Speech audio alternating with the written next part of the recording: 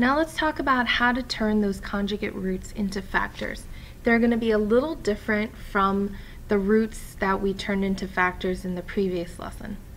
So first, we want to line up our conjugate roots vertically and add them down. So I'm going to take 2 plus the square root of 3, and then 2 minus the square root of 3, and we're going to add downwards. So 2 plus 2 is 4. Square root of 3 minus the square root of 3, that becomes 0. So we actually just have 4. This is going to represent our m value in our final answer. Then, step 2, multiply or FOIL the conjugate roots. So let's take 2 plus the square root of 3 and then we're going to multiply that with 2 minus the square root of 3. So we need to FOIL this. So the first terms, 2 times 2 is 4. The last terms, 2 times negative root 3 is negative 2 root 3. The inside terms is positive 2 root 3. And then the last terms, Positive root 3 times negative root 3 just gives us negative 3. Now what you'll notice is that the middle terms are always going to cancel out.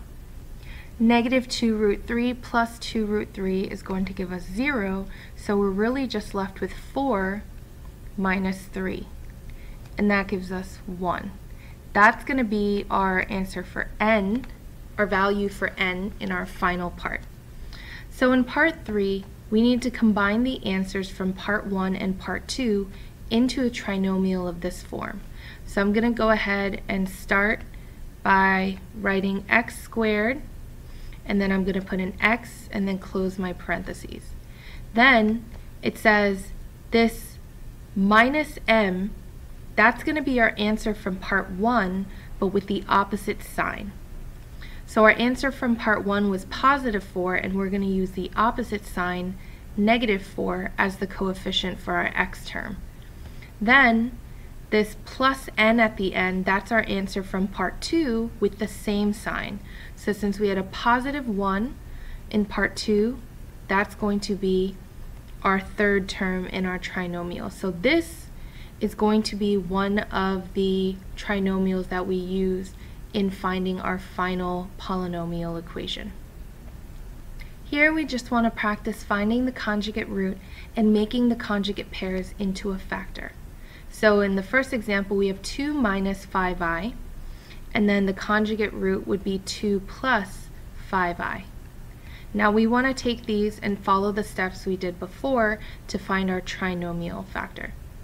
So first we're going to line them up and add them. 2 minus 5i and then 2 plus 5i.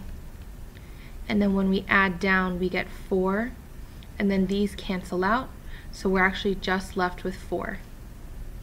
Then we want to FOIL our two pairs. So we have 2 minus 5i times 2 plus 5i. So when we FOIL this, we get 2 times 2 is 4, we get a positive 10i, a negative 10i, and then a negative 25i squared. So make sure you're multiplying carefully as you FOIL. Then this middle term is going to cancel out positive 10i minus 10i. So we're left with 4. Now remember, i squared is really the square root of negative 1 squared. So i squared is the same thing as negative 1. So when we multiply negative 25 times negative 1, you actually get a positive 25. So our answer to part 2 is actually going to be 29.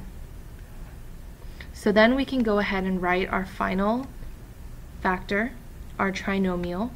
It starts off with x squared, and then we want to take the opposite sign from part 1, so a negative 4x, and then the same sign of part 2 plus 29.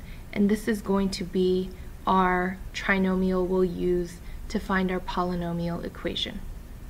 So I want you to pause, try this with example 2, and check back with me when you finish. So the first part is finding the conjugate root, negative 4 minus square root of 7. So remember, you're only changing the sign of either the irrational or the complex part of the root. You're not changing the first one. So in part 1, when you add straight down, you should get negative 8. When you FOIL the two conjugate pairs, you should get positive 19. So when you combine them for your trinomial, you should have x squared plus 8x plus 19. So don't forget the signs.